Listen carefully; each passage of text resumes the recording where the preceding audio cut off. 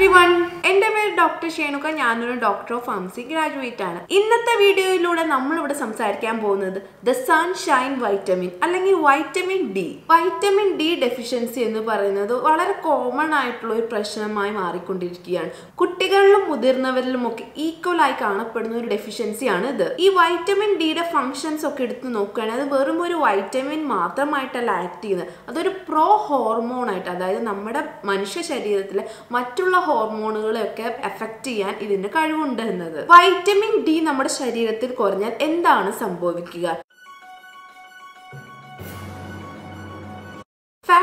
One എന്ന് പറഞ്ഞാൽ നമ്മുടെ ശരീരത്തിലെ കാൽഷ്യം അബ്സോർപ്ഷന് വളരെ എസെൻഷ്യൽ ആണ് ഈ വൈറ്റമിൻ ഡി എന്ന് പറഞ്ഞത്. അതായത് വൈറ്റമിൻ ഡിയുടെ അളവ് കുറഞ്ഞാൽ നമ്മുടെ ശരീരത്തിലെ കാൽഷ്യം അബ്സോർപ്ഷൻ കുറയുന്നു. അതുവഴി നമ്മുടെ ബോൺ ഡെൻസിറ്റിനെ ബാധിക്കുന്നു. എല്ലുകളൊക്കെ വളരെ തിന്നാവുകയും ചെറിയ വീഴ്ചയിൽ നിന്ന് എല്ലുകളൊക്കെ പൊട്ടാനും കാരണമാവുന്നു. വൈറ്റമിൻ ഡി നമ്മുടെ ശരീരത്തിൽ കുറഞ്ഞാൽ നമുക്ക് ബോൺ ഡിസോർഡേഴ്സ് ആയ ഓസ്റ്റിയോപോറസിസ് ഉണ്ടാവാൻ സാധ്യതയുണ്ട്. ഒപ്പം തന്നെ ഇൻസുലിൻ പ്രൊഡക്ഷനെയും ബാധിക്കുന്നു. തൈറോയിഡ് ഹോർമോണുകളെയും ബാധിക്കുന്നു. വൈറ്റമിൻ ഡി കുറഞ്ഞാൽ നമ്മുടെ ശരീരത്തിലെ രോഗപ്രതിരോധ ശേഷിയെ വരെ ബാധിക്കുന്നു. സോ ഇങ്ങനെ ഇമ്മ്യൂണിറ്റി ലോ ആയാൽ നമുക്ക് പെട്ടെന്ന് ഇൻഫെക്ഷൻസ് വരാൻ കാരണമാവുന്നു. ക്യാൻസർ പോലുള്ള രോഗങ്ങൾക്ക് വരെ ഈ വൈറ്റമിൻ ഡി ആയിട്ട് ലിങ്ക് ഉണ്ട് എന്നാണ് പുതിയ റിസർച്ചുകളൊക്കെ വെളിപ്പെടുത്തുന്നത്. നമ്മുടെ ശരീരത്തിലേക്ക് വൈറ്റമിൻ ഡി എത്തുന്നത് രണ്ട് മാർഗങ്ങളിലൂടെയാണ് നമ്മൾ കഴിക്കുന്ന ആഹാരങ്ങളിൽ നിന്നും രണ്ടാമതായിട്ട് പറഞ്ഞ സൺലൈറ്റിൽ നിന്നും. വൈറ്റമിൻ ഡി എന്ന് പറയുന്നത് മെയിൻലി രണ്ട് ഫോമിലാണ് ഉള്ളത്.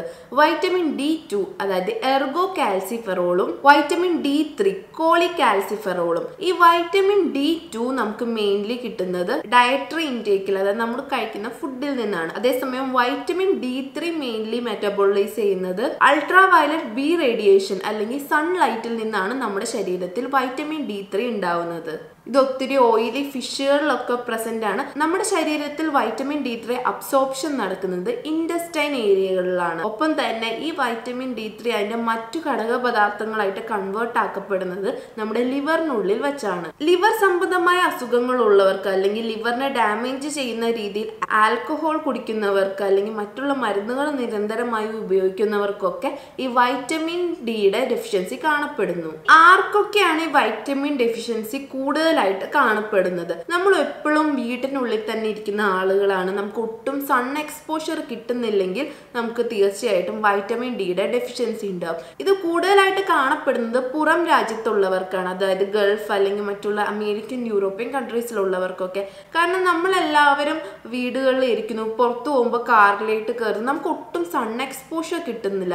അതാണ് ഈ പ്രവാസികൾക്ക് വൈറ്റമിൻ ഡെഫിഷ്യൻസി ഉണ്ടാവാനുള്ള മെയിൻ റീസൺ എന്ന് പറയുന്നത്. നമ്മൾ കഴിക്കുന്ന ആഹാര പദാർത്ഥങ്ങളിൽ നിന്നും നമ്മുടെ ശരീരത്തിന് ആവശ്യമായ വൈറ്റമിൻ ഡി ലഭിക്കുന്നില്ല എന്നത്. മൂന്നാമത്തെ കാര്യം എന്ന് പറഞ്ഞാൽ നമ്മുടെ ശരീരത്തിൽ വൈറ്റമിൻ ഡിയുടെ അബ്സോർപ്ഷൻ പ്രോപ്പർ അല്ലെങ്കിൽ നാലാമതെന്ന് പറഞ്ഞാൽ നമ്മുടെ വസ്ത്രധാരണം വരെ ഈ വൈറ്റമിൻ ഡി നമ്മുടെ ശരീരത്തിൽ എത്രമാത്രം അബ്സോർബ് ചെയ്യുന്നു എന്നതിനെ ബാധിക്കുന്നു. അമിതമായ രീതിയിൽ ഈ സൺസ്ക്രീൻ ഒക്കെ യൂസ് ചെയ്താലും ഈ വൈറ്റമിൻ ഡെഫിഷ്യൻസി ഉണ്ടാവുന്നതാണ്. നമ്മുടെ ശരീരത്തിന് സൺലൈറ്റ് വേണം. ആ സൺലൈറ്റിനെ ബ്ലോക്ക് ചെയ്യുകയാണ് ഈ സൺസ്ക്രീനുകൾ ചെയ്യുന്നത്. ഒരു എഴുപത് വയസ്സിനുള്ള മുകളിലേക്കുള്ള ഒട്ടുമിക്ക ആളുകളിലും ഈ വൈറ്റമിൻ ഡെഫിഷ്യൻസി കാണപ്പെടുന്നു. മെനോപോസൽ അല്ലെങ്കിൽ പോസ്റ്റ് മെനോപോസൽ സ്ത്രീകളിലും വൈറ്റമിൻ ഡിയുടെ ഡെഫിഷ്യൻസി ഒത്തിരി അധികമാണ്. ഇങ്ങനെ എങ്ങനെയാണ് നമ്മുടെ ശരീരത്തിൽ വൈറ്റമിൻ ഡിയുടെ അളവ് കുറവാണോ എന്ന് നോക്കുന്നത്? ഇതൊരു ബ്ലഡ് ടെസ്റ്റിലൂടെയാണ് മെയിൻലി ഡിറ്റക്ട് ചെയ്യുന്നത്. നമ്മുടെ ശരീരത്തിൽ serum twenty five hydroxy vitamin ഡിയുടെ അളവ് കുറവാണെങ്കിൽ നമുക്ക് പറയാം നമ്മൾ വൈറ്റമിൻ ഡി ഡെഫിഷ്യന്റ് ആണ് എന്നത്. ഇരുപത് നാനോഗ്രാം പെർ മില്ലി ലിറ്റർ മുതൽ അമ്പത് നാനോഗ്രാം പെർ മില്ലി ലിറ്റർ വരെയാണ് ഒരു ശരീരത്തിന് ആവശ്യമായ വൈറ്റമിൻ ഡിയുടെ അളവ്. ഇരുപത് നാനോഗ്രാം പെർ മില്ലി ലിറ്ററിലേക്കാളും കുറഞ്ഞാൽ നമ്മുടെ ശരീരത്തിൽ വൈറ്റമിൻ ഡി ഡെഫിഷ്യൻസി ഉണ്ട്. പത്ത് നാനോഗ്രാമിനേക്കാളും കുറഞ്ഞാൽ നമ്മൾ സിവിയർ ആയിട്ട് വൈറ്റമിൻ ഡി ഡെഫിഷ്യന്റ് ആണ് എന്നാണ് സൂചിപ്പിക്കുന്നത്. ഇനി നമ്മുടെ ഡയറ്റിൽ നിന്നും എത്ര മാത്രം വൈറ്റമിൻ ഡി നമ്മുടെ ബോഡിക്ക് എസെൻഷ്യൽ ആണ് എന്ന് നമുക്ക് നോക്കാം. ഒരു നോർമൽ അഡൽട്ട് ആണെങ്കിൽ നാനൂറ് മുതൽ എണ്ണൂറ് ഇന്റർനാഷണൽ യൂണിറ്റ് വൈറ്റമിൻ ഡി ആണ് നമുക്ക് ഫുഡിൽ നിന്നും ലഭിക്കേണ്ടത്. ഒരു ദിവസത്തിൽ തന്നെ. രണ്ടാമത്തെ ഒരു ഫാക്ടർ എന്ന് പറഞ്ഞാൽ നമ്മൾ ഒട്ടും സൺ എക്സ്പോഷർ കിട്ടാത്ത ഒരാളാണ്. അതായത് എപ്പോഴും വീട്ടിൽ തന്നെ ഇരിക്കുന്ന ഒരാളാണെങ്കിൽ നമുക്ക് വേണ്ട ഡയറ്ററി ഇൻടേക്ക് ഈ നാനൂറ് മുതൽ എണ്ണൂറിൽ നിന്നും കൂടി മിനിമം ആയിരം ഇന്റർനാഷണൽ യൂണിറ്റ് വൈറ്റമിൻ ഡി വേണം. പക്ഷെ ഒരാളുടെ ഒരു നോർമൽ ഡയറ്റ് നോക്കിയാൽ ഒട്ടുമിക്ക ആളുകളും ഇത്ര മാത്രം വൈറ്റമിൻ ഡി റിച്ച് ആയ ഒരു ആഹാര പദാർത്ഥങ്ങളും കഴിക്കുന്നില്ല. ആദ്യത്തെ എന്ന് പറഞ്ഞാൽ ബോൺ ഓർ ബാക്ക് പെയിൻ അതായത് നമ്മുടെ എല്ലുകൾക്കുള്ള വേദന അല്ലെങ്കിൽ നമുക്ക് പുറം വേദന ഉണ്ടാവും നമ്മുടെ ജോയിൻസിൽ വേദന ഉണ്ടാവും. ഇതൊക്കെ കുറെ കാലമായിട്ട് നീണ്ടു നിൽക്കുന്നതാണെങ്കിൽ നിങ്ങൾ വൈറ്റമിൻ ഡി ലെവൽ ചെക്ക് ചെയ്യുന്നത് വളരെ നല്ലതായിരിക്കും. വൈറ്റമിൻ ഡി ഡെഫിഷ്യൻസിയുള്ള ഒട്ടുമിക്ക സ്ത്രീകളും കാണപ്പെടുന്ന മേജർ സിംറ്റം ആണ് ഇത്. നാലാമത്തെ ഒരു സിംറ്റം എന്ന് പറഞ്ഞാൽ പെട്ടെന്ന് പെട്ടെന്ന് നമുക്ക് എന്തെങ്കിലും ഇൻഫെക്ഷൻ വരിക അല്ലെങ്കിൽ എന്തെങ്കിലും അസുഖം വരിക പനി വരിക. നാലാമത്തെ സിംറ്റം എന്ന് പറഞ്ഞാൽ ഡിപ്രഷൻ അറുപത്തഞ്ച് ശതമാനം ഡിപ്രഷൻ ഉള്ള സ്ത്രീകളിലും വൈറ്റമിൻ ഡിയുടെ അളവ് കുറവായിരുന്നു എന്നത്. അഞ്ചാമത്തെ സിംറ്റം എന്ന് പറഞ്ഞാൽ ഇംപേർഡ് വൂൺ ഹീലിംഗ് എന്ന് പറയും. അത് നമുക്ക് എന്തെങ്കിലും സർജറി കഴിഞ്ഞോ അല്ലെങ്കിൽ നമുക്ക് എന്തെങ്കിലും ആക്സിഡന്റ് ആയി നമുക്ക് എന്തെങ്കിലും മുറിവുകൾ ഉണ്ടായാൽ ആ മുറിവ് ഉണങ്ങാൻ ഒത്തിരി കാലം എടുക്കുന്നു വൈറ്റമിൻ ഡി ഡെഫിഷ്യൻസി ഉള്ളവർ കാണിക്കുന്ന ദ മേജർ സിംറ്റം ആണ് ലോ മിനറൽ ഡെൻസിറ്റി നമ്മുടെ എല്ലുകളിൽ കാൽഷ്യവും മറ്റുള്ള മിനറൽസ് ഒക്കെ നഷ്ടപ്പെടുന്നു. ഹെയർ ലോസ് പ്രോബ്ലങ്ങൾക്കൊക്കെ കാരണം ഈ വൈറ്റമിൻ ഡി ഡെഫിഷ്യൻസി തന്നെയാണ്. സോ വൈറ്റമിൻ ഡെഫിഷ്യൻസി നിങ്ങളുണ്ടെങ്കിൽ നിങ്ങൾ തീർച്ചയായിട്ടും ഡോക്ടറെ കാണണം.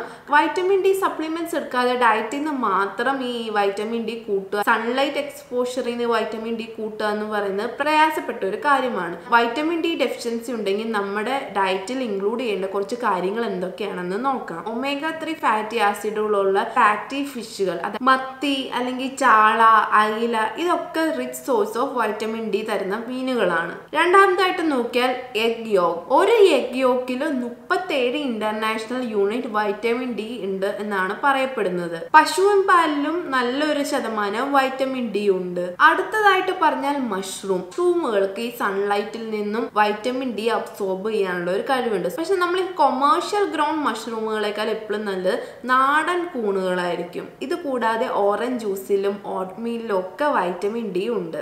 ഇതൊക്കെയാണ് വൈറ്റമിൻ ഡിനെ കുറിച്ച് നമ്മൾ എല്ലാവരും അറിഞ്ഞിരിക്കേണ്ട കുറച്ച് കാര്യങ്ങൾ. ഭൂരിഭാഗവും ഇത് അഫക്റ്റ് ചെയ്യുന്നത് വീട്ടിലിരിക്കുന്ന സ്ത്രീകളെയും അമ്മമാരെയും ഒക്കെയാണ്. അത്യാവശ്യത്തിന് സൺലൈറ്റ് ഒക്കെ കിട്ടുന്നത് നമ്മുടെ ശരീരത്തിന് വളരെ നല്ലതാണ്. കുട്ടികളെയൊക്കെ എപ്പോഴും വീട്ടിലിരിക്കാതെ അവരെയൊക്കെ പുറത്ത് കളിക്കാൻ വിടുക വൈറ്റമിൻ റിച്ച് ആയിട്ടുള്ള ഫുഡുകളൊക്കെ കഴിക്കുക. വൈറ്റമിൻ ഡിയുടെ ലെവൽ ഒത്തിരി കുറവാണെങ്കിൽ ഡോക്ടറെ കാണിച്ചിട്ട് വൈറ്റമിൻ ഡി സപ്ലിമെന്റ്സ് എടുക്കുക. നമ്മുടെ ആരോഗ്യം സൂക്ഷിക്കേണ്ടത് നമ്മുടെ ഉത്തരവാദിത്തം തന്നെയാണ്.